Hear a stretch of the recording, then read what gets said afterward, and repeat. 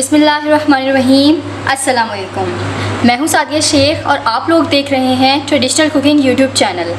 आज मैं आप सबकी खिदमत में लेकर के हाज़िर हूँ एक बहुत ही यूनिक रेसिपी।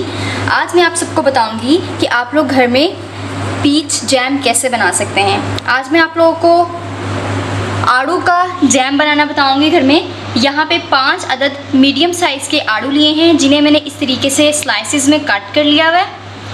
थ्री टेबलस्पून चीनी है। चीनी हसबे ज़ायका भी इस्तेमाल कर सकते हैं आप लोग। और वन टेबलस्पून लेमन जूस है। चलिए आइए। पीच जैम घर में बनाना स्टार्ट करते हैं। सबसे पहले पीस डालेंगे एक बर्तन में। एक कप पानी डालेंगे। और इतना पकाएँगे कि जो आड़ू हैं वो नरम हो जाए। वेयर्स आप देख सकते हैं पानी जो है वो कम रह चुका है। और अब आड़ू जो है वो अच्छे से कुक हो चुके हैं। ये मैं आपको दिखा भी दूँ।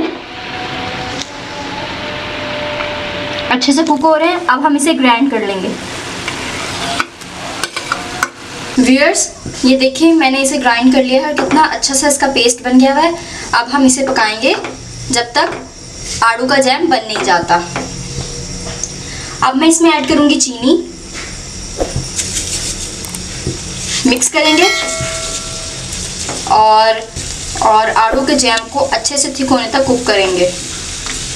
वेयर से देखें, इस तरीके से इसमें बबलिंग हो रही है तो आपने अपने हाथ और पाँव बचाने हैं, ताकि जले ना।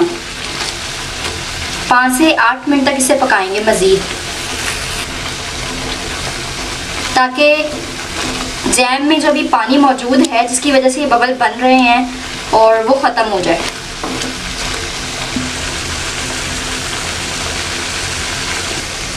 व्यूअर्स इसके बबल्स बनना जो है, वो अब कम हो चुके हुए हैं और इस पोजीशन में मैं इसमें लेमन जूस ऐड करूँगी।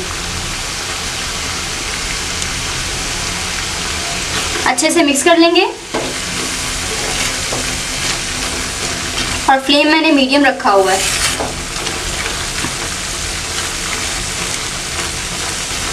एक से दो मिनट तक इसको पकाएँगे। चम्मच हिलाते रहेंगे मुसलसल ताकि नीचे ना लगे। और आप इसकी कंसिस्टेंसी देख रहे हैं।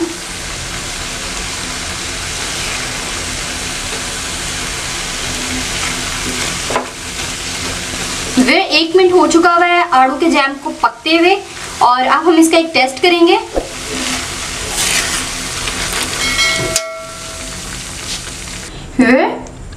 थोड़ा सा आड़ू का जैम लेंगे। एक प्लेट में रख लेंगे और इसको इस तरीके से टेस्ट करेंगे। फिंगर की मदद से आपने फिंगर ऊपर से नीचे लेकर आनी है। ये देखें।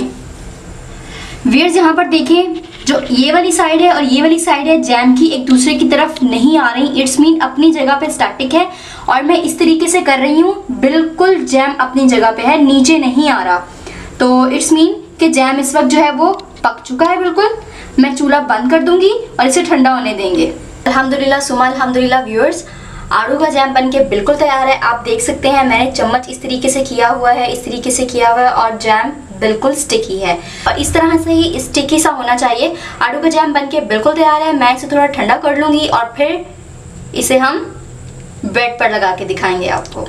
अल्हम्दुलिल्लाह, आप सबके सामने आड़ू का जैम घर पे बनके बिल्कुल तैयार है। आप मेरी इस रेसिपी को एज इट इज़ फॉलो कीजिएगा। ये रेसिपी आपको बहुत कम जगह पे मिलने वाली है।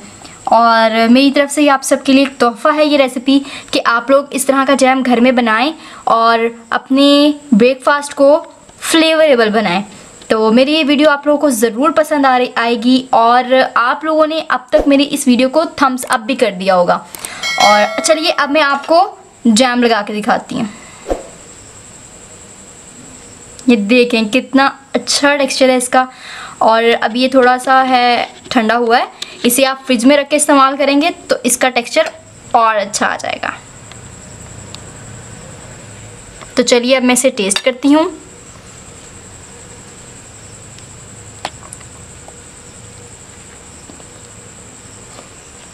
सुबहान अल्लाह अल्हम्दुलिल्लाह।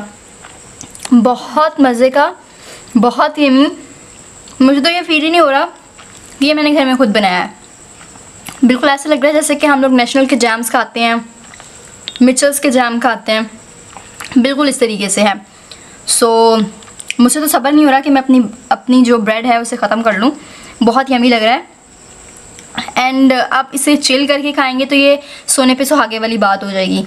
और आप और इस जैम की सबसे मज़ेदार बात ये है कि आप एक दफ़ा इस जैम को घर में बना के रख लें और ये तीन महीने तक सेव है। तीन महीने तक ये ख़राब नहीं होगा। आप इसे बनाएँ रखें, खाएँ इंजॉय करें फ्रेंड्स के साथ शेयर करें और सब आपसे रेसिपी ज़रूर पूछने वाले हैं। मैं मिलती हूँ आपसे एक नई वीडियो में।